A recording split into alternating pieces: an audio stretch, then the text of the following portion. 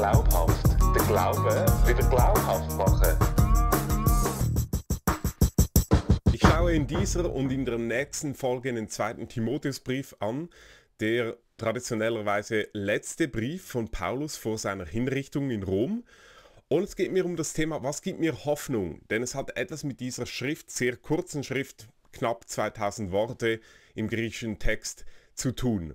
Und zwar Paulus war unterwegs durch Kleinasien, also durch die Westtürkei und ist offenbar über Korinth nach Rom gekommen und dort wartet er nun auf die Hinrichtung. Und äh, der ganze Stil des Briefes, auch die, die ganzen Inhalte gehen um diese Thematik, auch wenn sie nicht bewusst immer wieder aufgenommen werden. Aber er sagt zum Beispiel in 2. Timotheus 4, Vers 6, ich werde als Trankopfer dargebracht. Oder andere Übersetzungen sagen, ich werde schon geopfert. Und das ist interessant. Das griechische Wort dort wurde im Umfeld, also in der römisch-griechischen Kultur, immer dafür gebraucht, dass bei Festessen der letzte Becher zu Ehren der Götter ausgeschüttet worden ist. Und Paulus sagt, so und ich werde so jetzt ausgeschüttet, dass wenn ich sterbe, ich gebe mein Leben Gott zurück und ich weihe ihm mein Leben. Das ist die Perspektive. Also es ist etwas anderes als ich krepiere, ich werde hingerichtet, ich werde in Rom jetzt dann geköpft, sondern ich gebe mein Leben Gott und jetzt kommt der Höhepunkt, jetzt kommt noch die Kür von allem. Der Brief insgesamt ist sehr bewegt. Das merkt man vom Stil her. Viel abgebrochene, kurze Sätze, er erwähnt insgesamt 32 Einzelpersonen, also er will noch zu der und der Person etwas sagen und so weiter. Und so, so riecht der ganze Brief nach Abschluss vom Leben, aber er sprießt voll von Hoffnung. Der emeritierte Professor Norbert Bolz schreibt in der NZZ folgendes, dass wir seit 9-11 im Zeitalter der Angst leben. Und Paulus angesichts von seinem Tod, von seiner Hinrichtung, lebt im Zeitalter der Hoffnung. Und diese Aspekte möchte ich herausschälen aus dem zweiten Timotheusbrief und anschauen. Jetzt wird immer wieder mal gesagt, ja, der zweite Timotheusbrief kann nicht von Paulus stammen. Hier sind vielleicht drei Aspekte wichtig zu sehen. Erstens, die frühe Kirche stellt einmütig fest, das ist ein Brief von Paulus. Es gibt nur zwei belegte Einsprüche gegen das von zwei Gnostikern, von Basilides und Markion. Gnostiker waren die, die, ähm, die, die trennten Körper und Geist und sagen, der Körper ist etwas Schlechtes und der Geist ist mega gut und wichtig. Also je weniger irdisch wir sind, umso besser. Und gegen das wehrt sich der zweite Timotheusbrief explizit, Kapitel 2, Vers 16 bis 18 und Vers 23. Und darum wurde er von den Gnostikern als nicht paulinisch abgetan. Aber sonst ist die frühe Kirche einmütig dafür, das ist von Paulus. Der zweite Gedanke ist, also wir haben diese viele abgebrochenen Sätze, der Stil ist irgendwie anders und dann wird gesagt, der zweite Timotheusbrief kann nicht von Paulus sein, weil der Stil anders ist. Zudem stellt man fest, dass er rund 60 Wörter gebraucht, die er sonst nirgends gebraucht in allen seinen Schriften.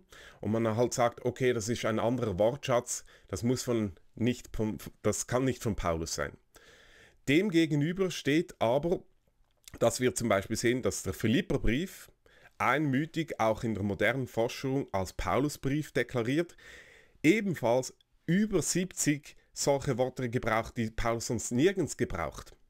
Das heißt, dieses Argument fällt in sich zusammen, da man feststellt, der Philipperbrief hat auch einen Wortschatz wie sonst Paulus nirgends gebraucht und dasselbe gilt für den zweiten Timotheusbrief. Und drittens können wir das sehr gut aufgrund der Ausgangslage der Situation erklären. Paulus kurz vor seinem Tod, er weiß, er hat noch die letzten Worte für die und die und die und die Person und man merkt den ganzen bewegten Gedankengang innerhalb des Textes. Das heißt, Wortschatz ist weniger Zeichen für Autorenschaft, Autorenschaft als vielmehr die Situation, die Ausgangslage des Briefes. Und hinzu kommt noch Folgendes. Paulus schreibt hier den zweiten Timotheusbrief und dieser gehört eigentlich so literarisch nach Gattung zum ersten Timotheusbrief und Titusbrief. Weil im Unterschied zu allen anderen Briefen, die Paulus ja auch geschrieben hat, sind dies die drei Briefe, die Paulus nicht an eine Gemeinde schreibt, sondern an Einzelpersonen. Das heißt, der Fokus ist auch ein ganz anderer. Das also mal grundsätzlich zum zweiten Timotheusbrief. Und jetzt beginnt der Brief wie folgt. Paulus schreibt, Gnade, Barmherzigkeit und Friede von Gott, dem Vater und Christus Jesus, unserem Herrn. Nun, für alle die, die die Paulusbriefe von Paulus schon mal gelesen haben, werden Folgendes feststellen, nämlich, dass Paulus alle seine Briefe faktisch so beginnt, nur mit dem zweiten Timotheusbrief mit einer Ausnahme, nämlich er ergänzt ein Wort. Er schreibt nämlich Gnade und Barmherzigkeit. Nicht nur Gnade und Friede wie sonst, sondern er bringt noch etwas dazwischen. Gnade und Barmherzigkeit und Friede von Gott. Und das ist ganz interessant, weil wieso um alles in der Welt bringt Paulus, obwohl er in allen anderen seinen Briefen immer nur von Gnade und Friede spricht, jetzt noch die Barmherzigkeit mit hinein. Und das ist interessant, weil ich glaube, hier betont Paulus etwas mega Wichtiges. Zum einen können wir mal sehen, Gnade schaut zurück. Es schaut auf unser Leben zurück und dass Gott uns alles vergeben hat, das schaut auf unsere Vergangenheit. Frieden schaut auf unsere Zukunft. Ich habe Frieden, ich habe Hoffnung. Und jetzt bringt Paulus noch die Barmherzigkeit mit ins Spiel exakt in seiner Situation jetzt kurz vor seinem Tod, in seine Gegenwart hinein, schreibt er von der Barmherzigkeit, von der Liebe von Gott. Man kann auch übersetzen von der Freundlichkeit oder von der Treue. Aber es kommt noch besser, denn dieses Wort Barmherzigkeit hier im Griechischen geht zurück auf ein zentrales Wort im Alten Testament auf Hebräisch über den Charakter von Gott. Und zwar spielt es an 2. Mose 34, Vers 6 an und dieser Vers lautet wie folgt. Und der Herr ging vor seinem Angesicht vorüber. Hier ist die Situation, Gott geht vor Mose ähm, vor, vorbei und dann ruft Gott aus, Herr, Herr, Gott, barmherzig und gnädig und geduldig und von großer Gnade und Treue. Man nennt dies die sogenannte Gnadenformel, 2. Mose 34, Vers 6. Man kann auch sagen Barmherzigkeitsformel. Das ist die Formel, die innerhalb des Alten Testaments am meisten zitiert wird und wieder darauf angespielt wird. Sieben exakte Zitate von diesem Vers im Alten Testament. Und es geht um die Barmherzigkeit von Gott. Und hier kommt etwas hinzu. Was bedeutet denn Barmherzigkeit? Es ist das hebräische Wort Rechem und das wurde für den Mutterleib oder den Mutterschoß oder sogar die Gebärmutter gebraucht. Also eine ganz weibliche Seite von Gott. Und es wird gesagt, Gott, Gott liebt dich, er, er ist bei dir. Es ist die Zentralaussage über Gott und genau diese bringt Paulus in seinem letzten Brief. Er ist getränkt von dieser Barmherzigkeitsbotschaft, dass Gott barmherzig ist, dass er für ihn ist, dass er, dass er mit ihm ist. Was sind also nun die Aspekte der Hoffnung für Paulus? Und ich möchte insgesamt vier anschauen, in dieser ersten Folge nur einen Aspekt, nämlich Bücher bzw. die Bibel. Interessant, Bücher, weil dies ist ein Fokus im zweiten Timotheusbrief und das möchte ich zeigen anhand von einem Vers, nämlich 2 Timotheus 4, Vers 13. Da schreibt Paulus zu Timotheus, wenn du zu mir kommst, den Mantel, den ich in Troas zurückließ, bei Carpus, bring mit, wenn du kommst. Und die Bücher, besonders die per Pergamente, er spricht hier von Büchern und Pergamenten. Man weiß nicht genau, was damit gemeint ist. Man spekuliert, dass die Bücher Papyrusrollen sind und wahrscheinlich die neutestamentlichen Schriften von Paulus mit beinhalten und die Pergamente entweder seine rechtlichen Dokumente sind, nämlich um seine römische Staatsbürgerschaft auszuweisen, oder auch, dass das Schriften vom Alten Testament sind, vom ersten Teil der Bibel.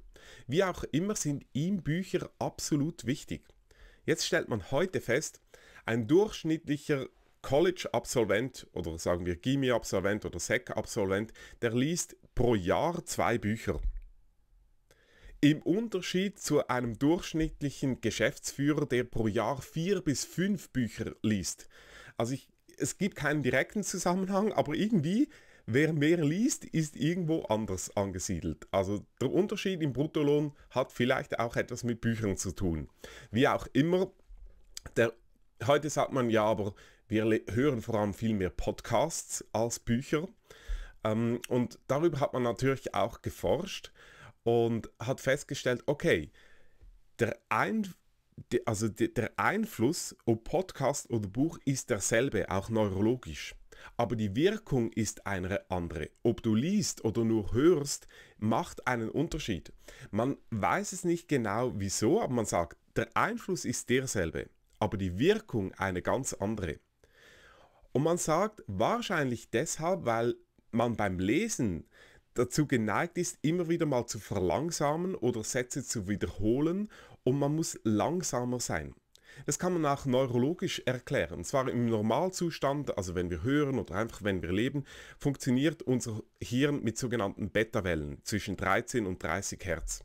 Wenn wir aber zur Ruhe kommen, im Ruhezustand, wenn alles langsamer wird, dann setzen sich diese Beta-Wellen zu Alpha-Wellen herunter, die sind 8 bis 12 Hertz. Das bedeutet, anders gesagt, man muss auf die richtige Wellenlänge kommen, dass die Wirkung tiefer ist. Es geht nämlich nicht einfach nur um Information beim Lesen, sondern um Transformation. Wenn du hörst, dann hörst du. Und wir neigen auch dazu, auf Podcasts immer zu verschnellern. Also zumindest ich. Ich höre meistens alles mit 1,3 bis 1,5-facher Geschwindigkeit. Mir wird immer wieder mal gesagt, dass bei mir man zurückstellen muss, vor allem wenn man mir live zuhört, dann wäre man froh zu verlangsamen, wie auch immer. Aber wenn man herunterschalten muss, langsamer wird, langsamer lesen muss, dann geht es nicht mehr um Information, sondern um Transformation. Dann verändert das uns. Es, die Wirkung wird tiefer. Das bedeutet, man erinnert sich an das Gelesene besser als an das Gehörte. Und genau auf diese Wirkung von Gelesenem geht Paulus auch indirekt ein, nämlich in sagen wir, den Zentralvers über die Inspiration, also die, den Wert und, und, der Qualität der Heiligen Schriften. In 2 Timotheus 3, Vers 16 oder 15 und 16 sagt Paulus folgendes. Weil du, Timotheus, von Kind auf die Heiligen Schriften kennst, die Kraft haben, dich weise zu machen zur Rettung durch den Glauben, der in Jesus Christus ist. Alle Schrift ist von Gott eingegeben und nützlich zur Lehre, zur Überführung, zur Zurechtweisung, zur Unterweisung in der Gerechtigkeit. Und hier sind einige Aspekte, die ich herausgreifen möchte ähm, über die Wirkung von gelesenen und jetzt bei Paulus über die Heiligen Schriften, über die Bibel. Er sagt, das Erste, sie machen dich weise zur Rettung. Das heißt, die Bibel oder die Schrift, das Nachdenken über das Wort von Gott rettet dich. Und jetzt ist sehr spannend insofern, wie Paulus das Verb retten überhaupt in seinen Schriften und vor allem im zweiten Timotheusbrief gebraucht. Gemeinhin denken wir immer, ah, der Glaube an Christus rettet mich jetzt oder hat mich gerettet. Und die Frage schlechthin lautet zum Teil, bist du gerettet, ja oder nein?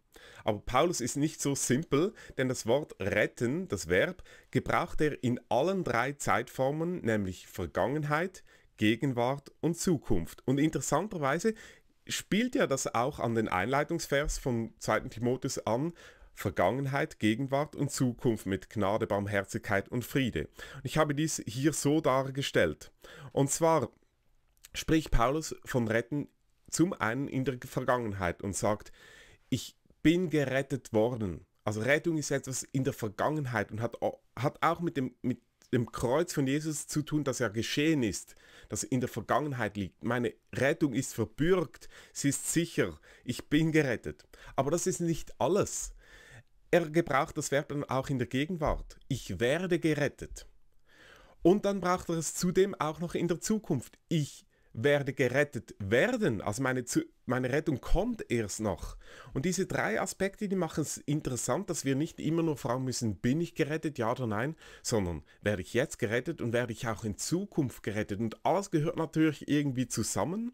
Aber der Grundgedanke ist, ich, wir brauchen Rettung überall, nicht nur in der Vergangenheit. Und so ist, bin ich safe und jetzt kann ich tun lassen, was ich will.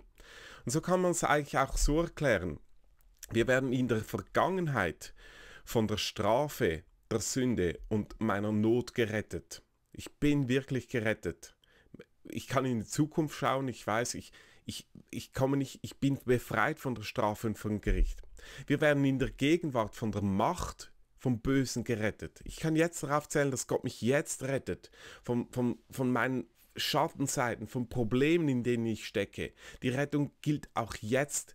Und dann kommt es hinzu und ich werde gerettet werden. Das heißt, irgendwann kommt der Moment, wo ich von der Präsenz des Bösen und der Sünde gerettet werde, wo, es, wo, wo das Böse weg ist. Und das sind die drei Aspekte. Und Paulus sagt, dass die Bibel hilft uns zu dieser dreifachen Rettung. Es ist nicht nur eine einfache, nicht nur eine doppelte, sondern es ist eine dreifache Rettung. Und darum nun betont Paulus in unserem Vers, wenn wir nochmals hinschauen, die Heiligen Schriften haben Kraft, sie haben eine Power, sie, sie, sie sind voll von. Was ist damit gemeint? Ich glaube, niemand hat das besser ausgeführt als Gandhi. Er hat Folgendes gesagt. Ihr Christen habt in eurer Obhut ein Dokument mit genug Dynamit. Und das ist jetzt spannend. Das Wort Kraft bei Paulus ist das griechische Wort Dynamis, woher unser deutsches Wort Dynamit kommt. Und Gandhi sagt, ihr habt in euren Händen eine Schrift, die hat Dynamit in sich, die gesamte Zivilisation in Stücke zu blasen, die Welt auf den Kopf zu stellen, dieser kriegszerrissenen Welt Frieden zu bringen. Aber ihr geht damit um, als ob es bloß ein Stück guter Literatur wäre, wäre, sonst weiter nichts. Die Bibel hat Kraft, sie hat eine enorme Power. Dein Tag kommt auf die richtige Bahn mit dieser Schrift, wenn du damit beginnst, wenn du, du damit aufhörst. Sie hat Power, dein Leben von der Vergangenheit in der Gegenwart und für die Zukunft zu retten und dich auf die Siegesbahn zu bringen. Und dann ergänzt Paulus diese Aussagen noch mit einem Zusatz und er sagt nämlich, die Heiligen Schriften sind nützlich, sie helfen uns. Spurgeon hat mal gesagt, eine Bibel, die auseinanderfällt, gehört meistens zu jemandem, der es nicht tut. Die Bibel ist nützlich. Das Wort hier heißt eigentlich angehäuft und bezeichnet einen angehäuften Gewinn. Es ist ein Schatz in unserem Leben. Eine groß angelegte Studie, Reveal, in den USA hat Tausende von Christen befragt über ihr Leben, über den Stellenwert der Bibel in ihrem Leben, über Gebet, über Besuch einer Gemeinschaft von Christen und so weiter. Und sie haben festgestellt, in allen Phasen des Christenlebens, also am Anfang, in der Mitte, am Ende, spielt die Bibel einen absolut zentralen Faktor. Man hat festgestellt, je, je größer dieser Faktor Bibel im persönlichen Leben ist, umso reifer ist diese Person, umso gesünder, auch medizinisch, und umso großzügiger. Die Bibel ist, Zitat Paulus, nützlich, es ist ein Gewinn für dein Leben in allen Dimensionen. Jetzt gibt es hier einen kleinen Vorbehalt. Denn es geht einfach nicht um Bücher und es geht einfach nicht um die Bibel per se, sondern es geht um die Wirkung und wie du mit der Bibel umgehst. Denn es gibt einen klassischen Vorbehalt in der Bibel selber gegenüber Büchern. In Prediger 12, Vers 12 heißt es, lass dich warnen, denn des vielen Büchermachens ist kein Ende und viel Studieren macht den Leib müde. Also gut, Bücher sind nicht alles. Und Chesterton hat mal Folgendes gesagt, ich habe von Kindern mehr gelernt als von Büchern. Weil einfach nur Bücher zu haben, das bringt gar nichts. Am schönsten finde ich dies dargestellt in der Franklin-Expedition. Die Briten wollten im 19. Jahrhundert zum Nordpol. Und obwohl die Reise zwei bis drei Jahre geht, nahmen sie nur Kohle mit für zwölf Tage.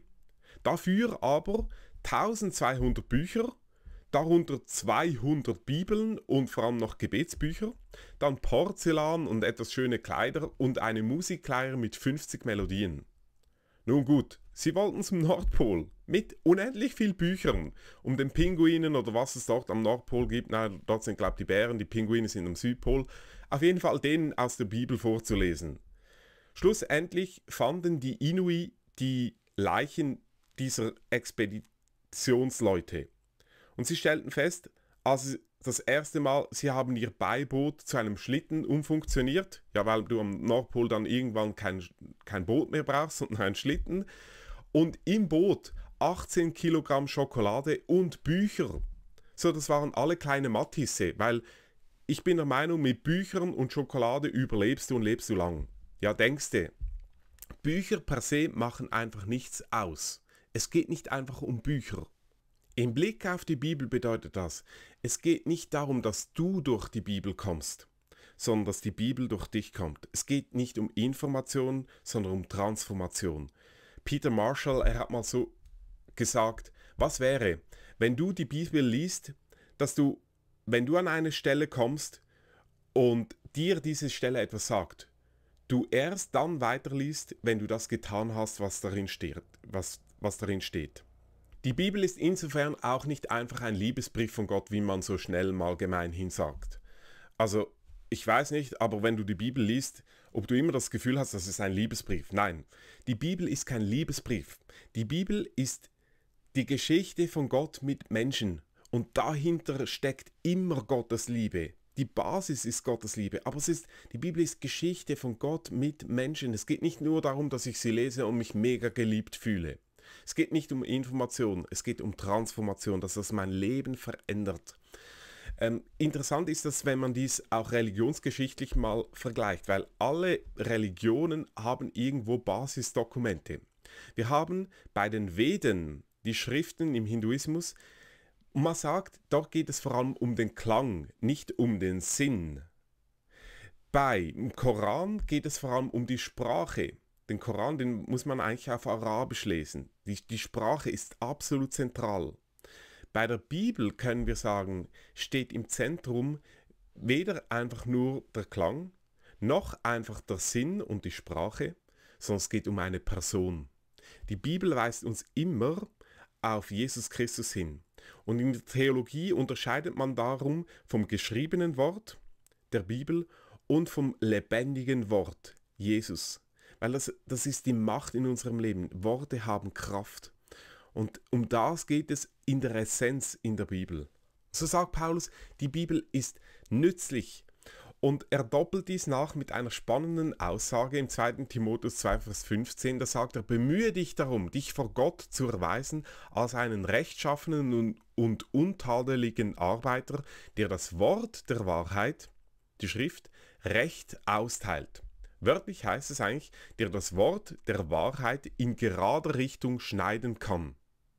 Dieses Wort, Verb, wurde gebraucht für eine Straße, die quer durchs Land ging oder für eine Furche auf dem Acker, die ganz gerade ist oder auch im Blick auf einen Stein, der so zugerichtet ist, dass er in die genau vorgesehene Stelle passt. Was macht also die Schrift? Was macht das Wort von Gott mit uns? Es schneidet uns, dass wir in unsere Stelle, wo wir hingehören, genau passen. Das bedeutet, es ist an sich egal, wo du bist. Wenn du auf Gott hörst, die Bibel liest, dann wirst du dort hineinpassen. Also ich will nicht sagen, dass es manchmal dran ist, den Ort zu wechseln und so, aber die Grundfrage in meinem Leben, und vielleicht kannst du dich damit identifizieren, ist immer, bin ich am richtigen Ort? Ist das meine richtige Stelle? Ist das mein richtiger Chef? Das passt alles nicht. Und die Aussage ist, doch, doch, grundsätzlich ist das alles mal gut. Es geht darum, dass dass die Zusage besteht, du wirst dort hineinpassen. Das ist, bedeutet an sich, du kannst sein, wo du willst. Es ist immer der passende Ort, weil du zugerichtet wirst, dass du dort hineinpasst. Das ist eine Botschaft von Gott für dich. Du hast eine Mission, du hast eine Berufung, du passt wo auch immer hin, weil Gott dich dich formt, weil er dich zurichtet, und zwar, dass du perfekt dorthin passt. Du hast eine Mission, du hast eine Berufung, du bist der Schlüsselstein für in deine Situation, in deine Ehe, in deinen Job, in deine Firma, in dein Startup, wo auch immer. Dort gehörst du hin und du passt hinein. Gott hat dich dazu gemacht oder gerade geschnitten. Ich möchte aufhören mit einer Geschichte aus dem Ersten Weltkrieg, und zwar Kurt Geiler war Infanterist in den Gräben, hat dort gekämpft und das Einzige, was er als Kopfkissen zur Verfügung hatte, war seine Bibel. Jede Nacht schlief er auf seiner Bibel. In einer Nacht wurde sein Bunker von einer Bombe zerbombt. Die meisten seiner Kollegen starben, nur er hat überlebt, kam ins Lazarett, wollte aber zurück in den Bunker, weil er wollte seine Bibel haben. Und er kommt zum Bunker und findet seine Bibel zerfetzt von einem 4 cm langen Granatsplitter, der, der in der Bibel stecken geblieben ist.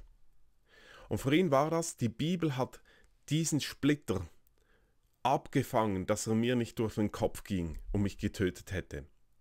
Diese Bibel wurde wie als Familienheiligtum gewahrt. Und der Enkel von Kurt Geiler, Markus Geiler, erzählt immer wieder mal, dass sein Vater, also der Sohn von Kurt Geiler, diese Bibel aus dem Gestell geholt hat und gesagt hat, schau mal, Das ist es, was deinem Großvater das Leben gerettet hat. Die Bibel rettet. Sie gibt Kraft, sie ist nützlich, sie ist für dich, sie, sie verändert dich, dass du in deine Stelle passt, wo immer du bist. Glaubhaft. Der Glaube wieder glaubhaft machen.